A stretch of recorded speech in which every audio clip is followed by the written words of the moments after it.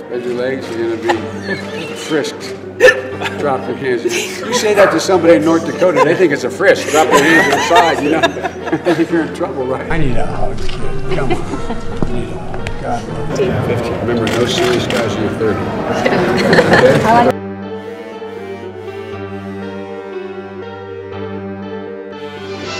Vice President Biden may want to avoid the impeachment trial, but he's not backing away from his feud with Bernie Sanders. Ed O'Keefe caught up with him in Des Moines, and they had, how do we describe this, Ed? Is remarkable exchange a good word?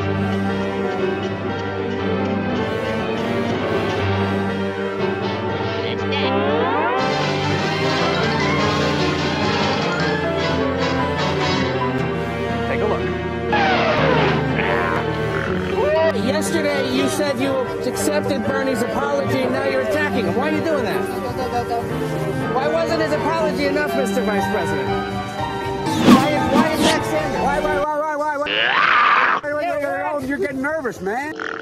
With 11 days until the Iowa caucus. And Yeah, the stakes are high. Doc, this is the spot. We'll start digging for groundhogs.